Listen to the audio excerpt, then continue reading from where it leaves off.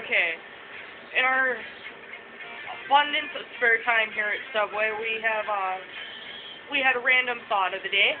The thought of the day today was, what would it be like to have those long, like three-inch nails that those receptionists have? So we came up with an idea on how to figure it out. Hi, clothespins. Oh no, no, uh uh, uh uh.